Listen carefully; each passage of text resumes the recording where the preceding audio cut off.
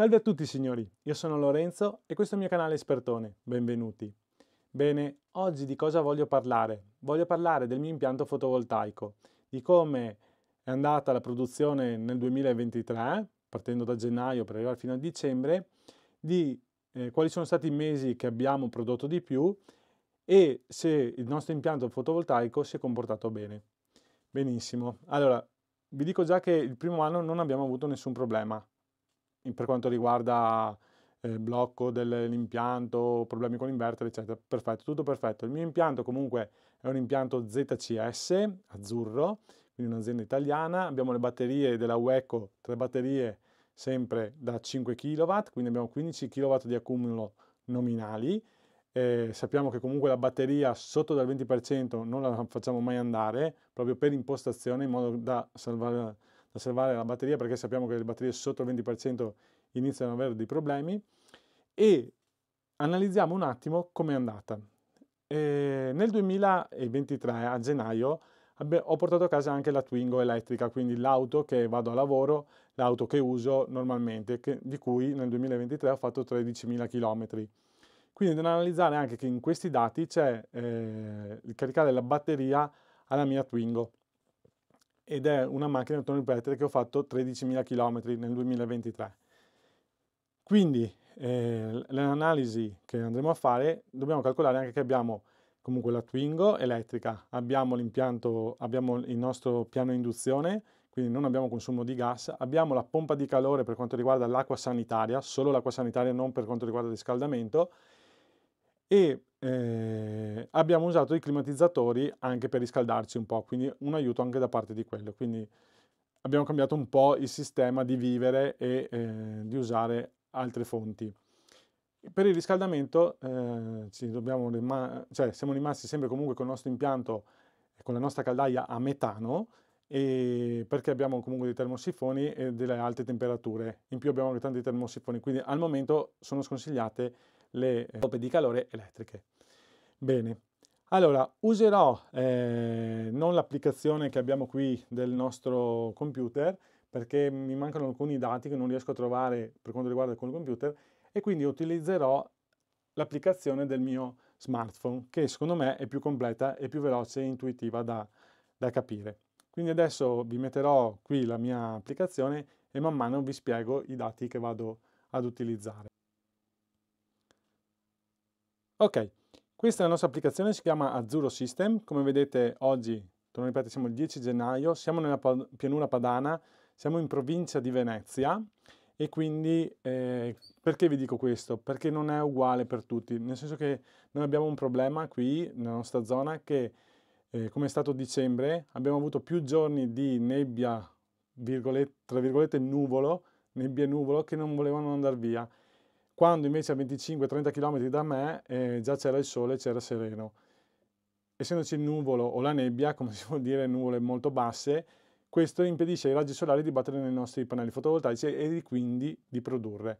A 25-30 km da qui, in di, sempre in provincia di Venezia, avevano il sole perché ho degli amici che abitano là e stavano producendo tranquillamente. Quindi da prendere un po' con le pinze di dicembre e anche l'inizio di gennaio. Poi fatemi sapere anche voi se siete da altre parti d'Italia come sono, come è stata, di sicuro in Sicilia sarà stata diversa, in Campania diversa, in Basilicata diverso ma è giusto per capire anche come funziona al nord, al centro e al sud. Torno ripetere, sarebbe bello portare i dati di tutti, eh, tutte le persone che ci sono, magari che vedono questo video, e vedere le differenze di come è andata la produzione ah, proprio nei mesi più bui, quelli di novembre, dicembre e quello che sarà di gennaio. Bene, quindi adesso vediamo la nostra, oggi ho prodotto 9 kW e 13, mentre già ieri era diversa la produzione. Vedete che adesso ha finito di produrre, sono le 5 di sera e adesso stiamo pescando dalla batteria. Quindi l'accumulo sta eh, prendendo l'energia direttamente dal nostro accumulo che sono 15 kW ma abbiamo solo la batteria al 40%. Produzione molto bassa. Ma quello che ci interessa a noi è vedere come è andata l'anno. Quindi andiamo nella nostra applicazione, vedete gennaio 10, ieri abbiamo prodotto un po' di più perché è stato più sereno, poi abbiamo l'8 dell'1, eccetera. Adesso eh, però andiamo a vedere per quanto riguarda l'anno 2023. Selezioniamo e questo è il nostro anno. Come vedete eh, c'è gennaio 2023 che parte basso, poi saliamo. Eh, gennaio dell'anno scorso abbiamo prodotto 209 kW, il febbraio 336 e vai a salire, già a marzo si è triplicato la produzione 603, aprile 809, maggio 862, per arrivare poi a giugno addirittura 1 megawatt e 60, poi luglio 1 megawatt e 30, qui iniziamo a calare 8,67, settembre 7,48, ottobre 4,15, vedete già novembre 2,60 e qui vorrei vedere dei dati per quanto riguarda il sud o il centro Italia, vedere com'è, o nelle zone montane dove c'è il sole, magari siamo su una vallata dove c'è sempre il sole, però non c'è la nebbia o il nuvolo che può venire che abbiamo qua vicino. Poi dicembre scarsissimo, 191 kW, però vabbè, sono sempre 191 kW risparmiati. Questo è il primo semestre, come vedete sale fino a, a giugno che è un megawatt e 60 o 1061 kWh, come volete dire, e poi riscende per finire. Vediamo appunto che abbiamo basso, media, basso è stato il mese che abbiamo prodotto in meno, la media dei sei mesi e l'alto quello che abbiamo prodotto di più, per un totale di 3900 kW e 3500 kW. Quindi fate la somma e vediamo quanto abbiamo prodotto. Allora, scusate, sono uscito. Qui abbiamo la batteria quanto si è caricata. Adesso volevo far vedere sempre anno, scusate perché... Ed eccola qua. Questo è anche il riassunto del 2023 per quanto riguarda la batteria.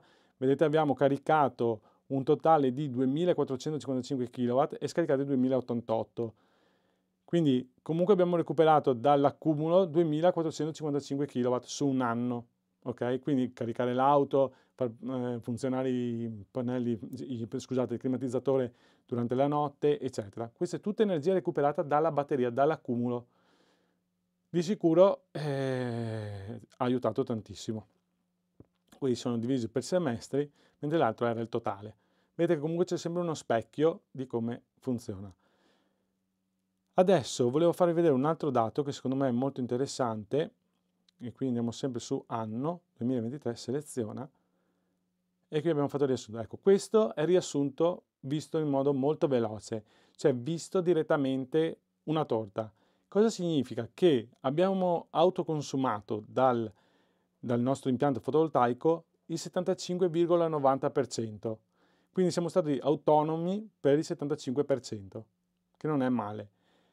E manca, manca quel benedetto novembre-dicembre che purtroppo è così. Eh, abitiamo qui e non posso spostarmi. Bene, allora l'energia consumata è stata di 7254 kW di cui prelevata la rete 1761, cioè il 24,3% è stato prelevato. quindi su 7200 kW, 20, eh, 1760 li ho prelevati che sono il 25%, quindi vedete quella fetta che vedete dalla rete. Produzione, invece qua abbiamo non immessa e immessa. Cosa significa? Che quella immessa è energia elettrica che io ho venduto, cioè che ho ceduto al nostro ente di energia. In questo caso cosa significa? Che oltre all'energia per la mia casa, per quello che riguarda caricare nostro, le batterie d'accumulo, eh, le batterie della, dell'auto, abbiamo immesso il 16,8%, che in questo caso qua sono 1245 kW. Sono circa, circa, dico, quello che ehm, abbiamo, abbiamo prelevato dalla rete. Quindi se noi andiamo ad aggiungere questi kilowatt qui a, che, a toglierli da quelli che abbiamo consumato, siamo quasi là.